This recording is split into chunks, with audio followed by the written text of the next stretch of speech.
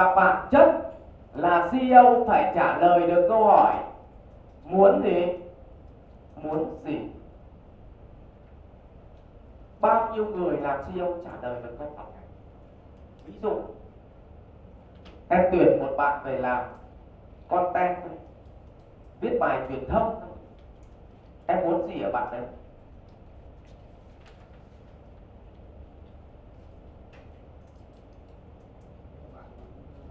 Không, em muốn.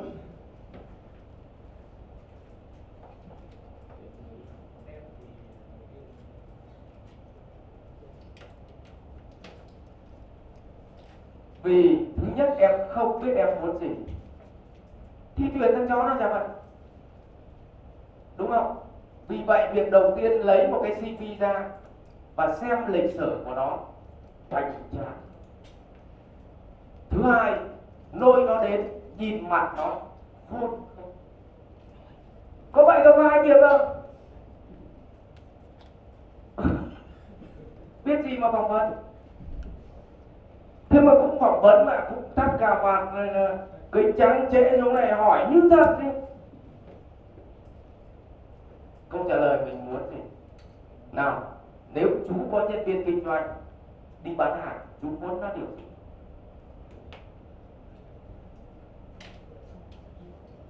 nhưng sản phẩm nó đo bằng cái gì? Cấm chơi văn tả cảnh.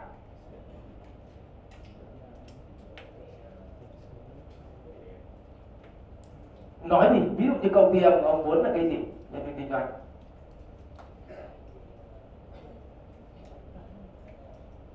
Nó đo bằng cái gì? Tiền. Tiền nó gọi là cái gì? Doanh gì? Doanh thu hay doanh số? Đúng không? Thế thì có cái mục đầu tiên trong cuộc sống này chúng ta muốn gì thì nó chia làm hai phần. Một phần là căn, một phần là gì? Cốt, căn, tức là cái thứ máu, tức là cái căn bản, là cái máu. Còn cái cốt là mức gì? Mức độ, đúng không? Em muốn lấy vợ. Hỏi, sinh cỡ nào? Thì nở thì là gì? Cốt sinh là gì căn em muốn một nhân viên bán hàng có doanh thu doanh thu là gì ạ? Căn còn bao nhiêu thì gọi là gì? Cốt. Tôi muốn san lấp mặt bằng. San lấp mặt bằng gọi là căn lên cốt mấy thì gọi là gì? Cốt. Tôi muốn xây nhà thì là căn nhà cấp 4 thì gọi là gì? Cốt. Nhưng đa phần con người ta nói khái niệm là nói căn hay nói cốt? Căn tôi muốn lấy một em thật ngoan. Hỏi, ngoan như thế nào? Thế thì tôi đó nó chẳng ngoan? Mà bạn cứ dùng cái này nhỉ? Vậy muốn quản trị nhân sự, việc đầu tiên luật chơi là anh phải biết anh muốn gì. Và nếu anh không biết anh muốn gì, thì thằng nào đến chơi với anh chả được, không? Có đúng không? Cho nên nhiều thằng tuyển nhân viên kinh doanh chỉ đến chiều ra chơi cờ với mình. Cho nó vui. À. vậy muốn gì câu hỏi đầu tiên đấy. Tôi lấy ví dụ. Trong kinh doanh thì anh muốn gì nào nếu tuyển nhân viên kinh doanh thì anh muốn nó làm được cái gì ạ? Doanh tiền doanh thu. Và cụ thể là bao nhiêu tiền tiền đúng không? Doanh thu là cạn tiền là cốt. Nào, còn quan tâm đến cái gì? À.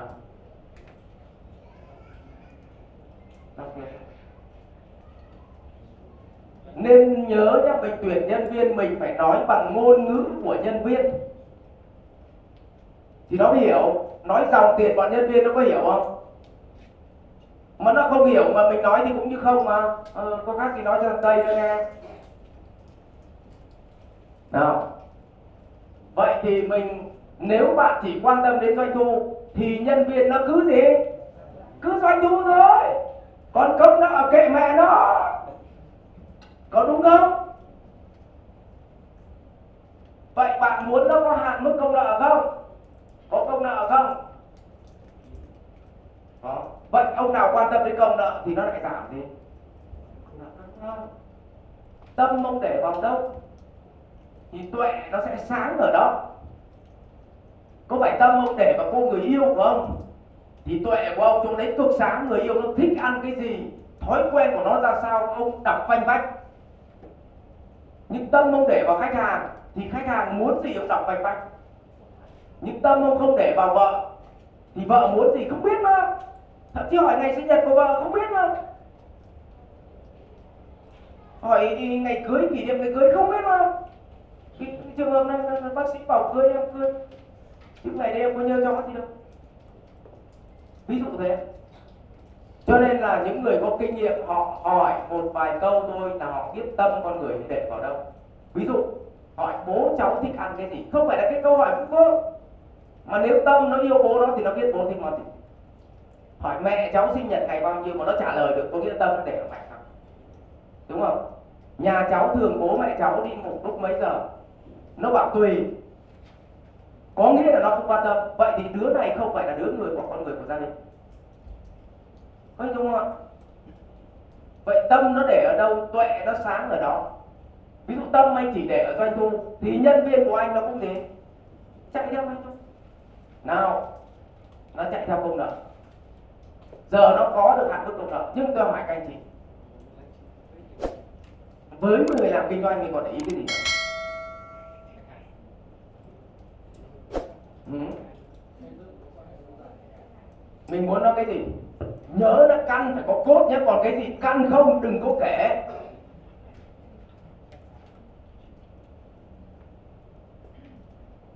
Khách hàng nó là cái gì ví dụ vậy thái độ tốt với khách hàng là hay là cốt. Căn thế nào gọi là thái độ tốt với khách hàng? Không biết. Thế thì đưa vào làm gì? Tức là cái mà mình đưa vào đến mình còn không biết. Thì ai biết? Vì vậy đừng có vẽ ra nhiều mà cái mà nó không có khái niệm bản chất của khái niệm. Vậy thì nếu như chúng ta khoán ra nó hai cái này.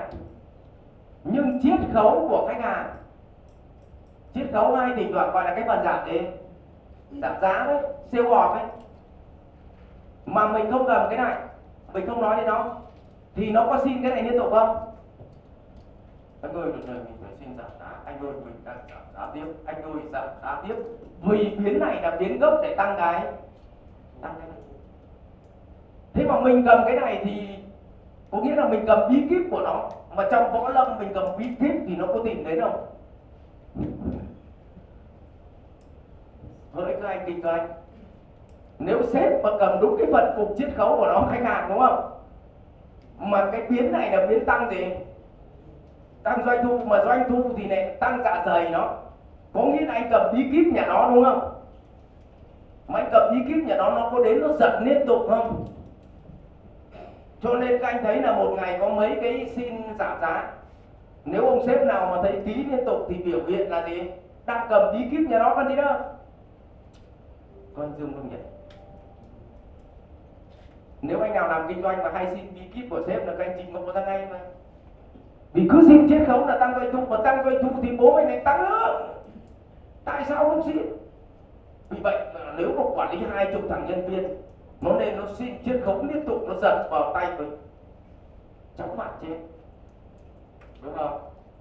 Thả lại. Vậy thả bằng cách nào? Thì đấy gọi là luật chơi.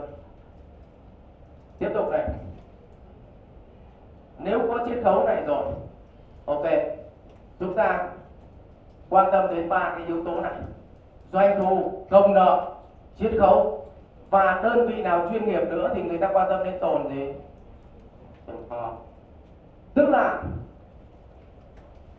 nếu anh đăng ký mặt hàng này thì anh phải cam kết bán được và không thể tồn kho nhưng mà nếu chống tồn kho được thì bên mua hàng và bên gì? Bán phải gì? Thỏa hiệp. Đúng không ạ? Phải thỏa hiệp. Đấy. Vậy thì chúng ta mới ra cái luật tồn kho.